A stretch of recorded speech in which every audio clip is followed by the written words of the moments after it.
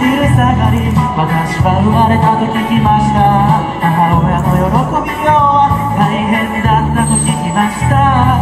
ただまっすぐ信じる道を歩んでほしいと願い込めて悩み抜いた末にこの名を私につけたと聞きました。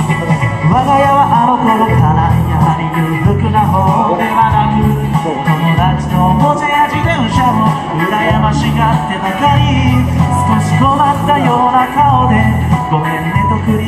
り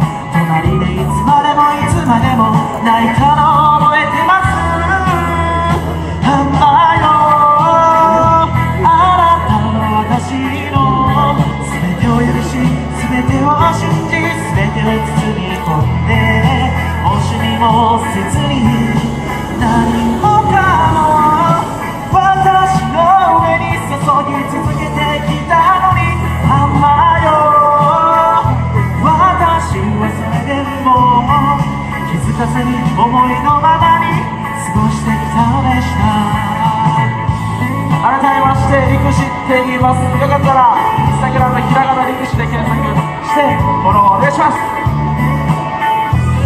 強さの意味を履き違えて喧嘩や悪さばかりを繰り返し勝手気ままに遊び回る。本当にろくでもない私が真夜中の静けさの中忍び足で家に帰った時も狭い食卓の。上には茶碗が並べられていました。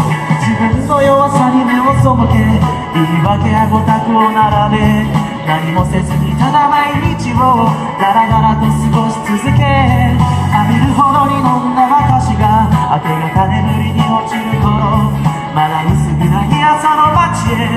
慌てて行く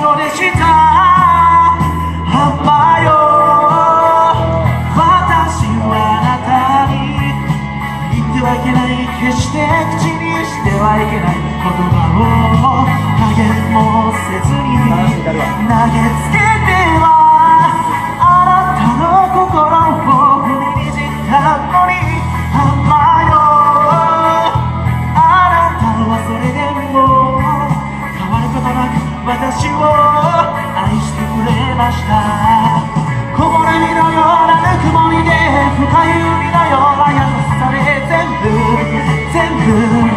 私の全てを包み込んだあなたの背中に追われながら眺めた痩せたけの勇気は今日も変わらず茜色に街を染める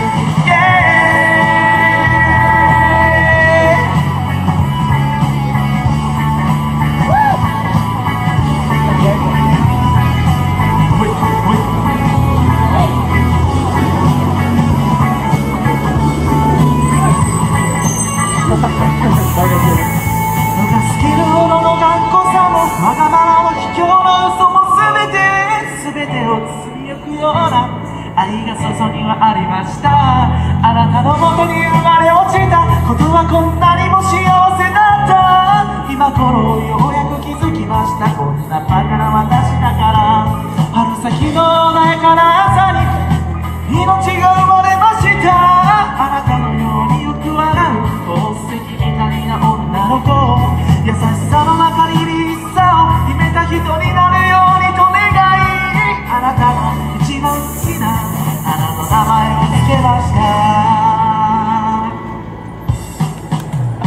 ます。